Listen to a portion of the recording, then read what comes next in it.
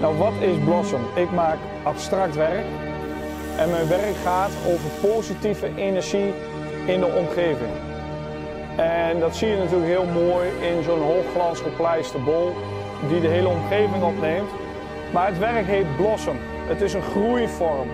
Dus je ziet eigenlijk eh, een, een, een kortere lijn en wat langere lijnen die een bol omvatten en tot bloei komt.